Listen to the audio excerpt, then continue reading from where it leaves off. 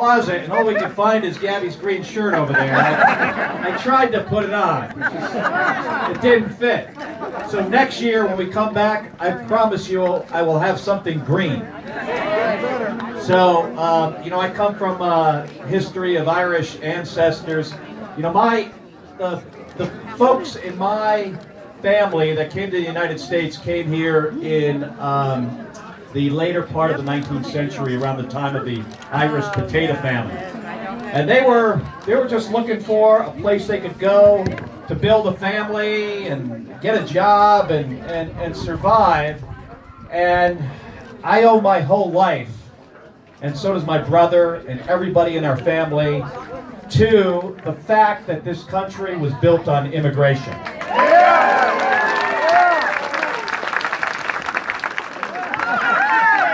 Thank you. Now I don't feel naked. You know, my, uh, so,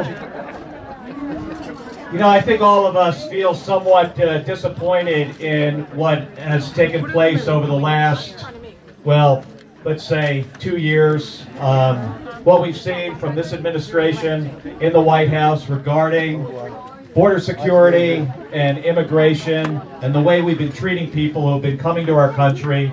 And who I mean are people seeking political asylum.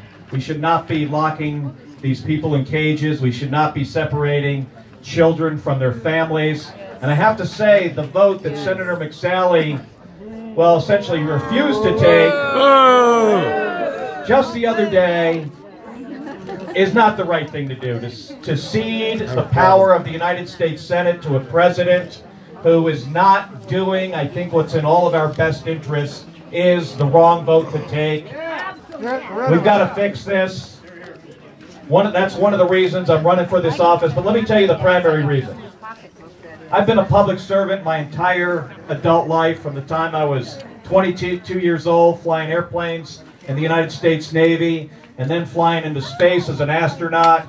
I'm really worried about the direction of our country. As I orbited this Earth, you know, first time in 2001, my fourth flight was a decade later in 2011. Get this, I could look down at the planet and see changes. I mean, that's not good for one guy to be able to see, and let me give you a specific.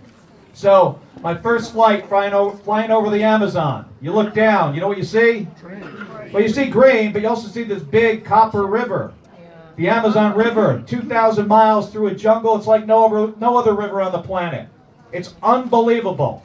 It is so striking and visual, and it, it, it's just breathtaking. Ten years later, on my fourth flight, you know what you see when you look down over the Amazon? Not the river. What you notice is the deforestation, the loss, of billions and billions of tons of carbon that are now in our atmosphere. And it's going to be there forever. And if we do not do something on climate change, you know what it means for people who live here in the Arizona, for all of us? It means in Arizona that by 2100 is 7 degrees hotter. That means more drought and people moving out of this state. We can't, yeah, no water.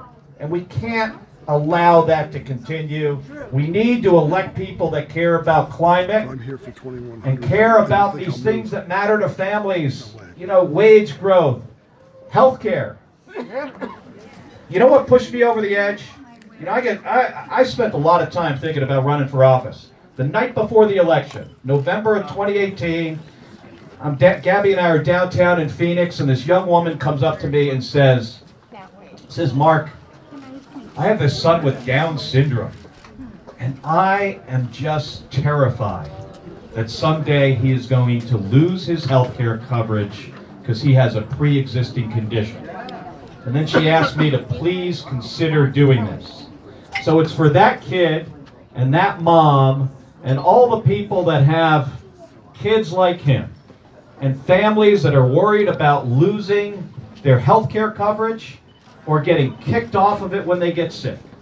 We've got to change direction on the way we've been dealing with these issues of healthcare, climate, gun violence, an issue that Gabby and I have worked on for such a long time. We got to get back on the right track.